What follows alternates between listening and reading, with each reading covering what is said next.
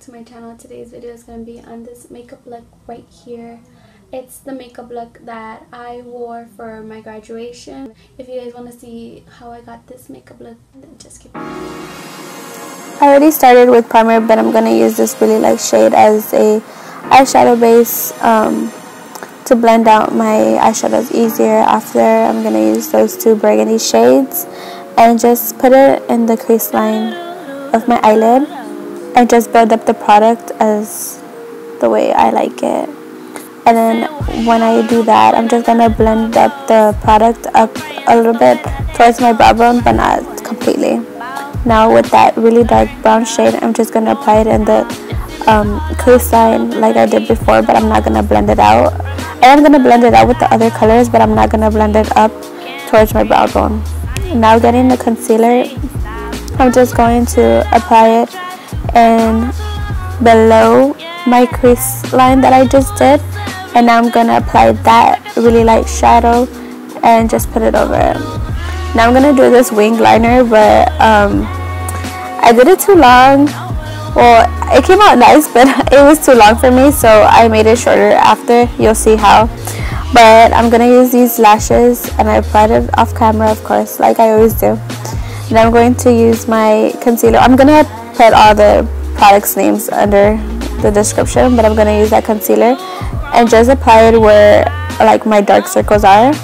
And then I'm gonna apply foundation over it and just blend it out.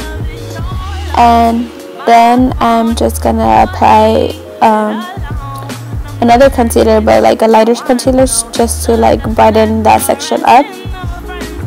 And I'll blend it out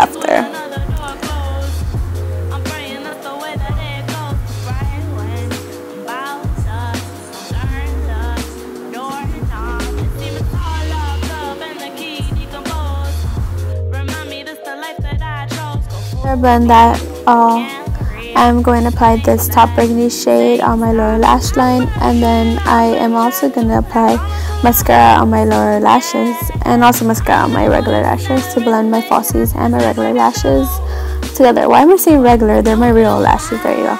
So then, um, yeah, it's a little bit weird, but I use my eyebrow powder as a contour shade because I haven't bought a bronzer. So yeah, the lipstick I'm going to use is called Whirl by MAC. Um, yeah, and that is the final look. I hope you guys enjoyed this video. And here comes some graduation clips. Bye! Yeah! Representation.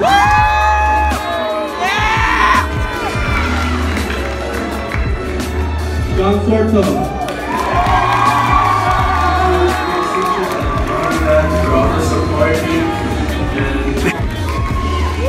Hallelujah